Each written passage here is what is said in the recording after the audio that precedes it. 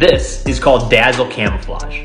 It's something the British came out with in World War I to help conceal a ship's direction, range, and speed. A few other countries tried it out as well, like the US and Canada, to name a few. I mean, it definitely looks weird, but I can't really tell if it would work.